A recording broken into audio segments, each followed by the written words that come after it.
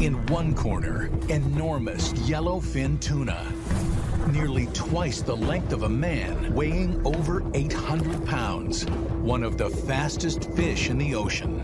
In the other corner, sharks, thousands of them, crushing teeth,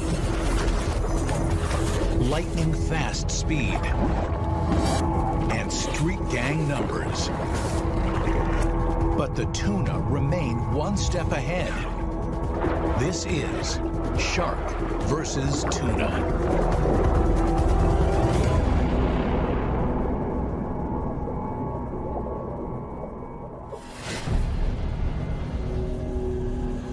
Some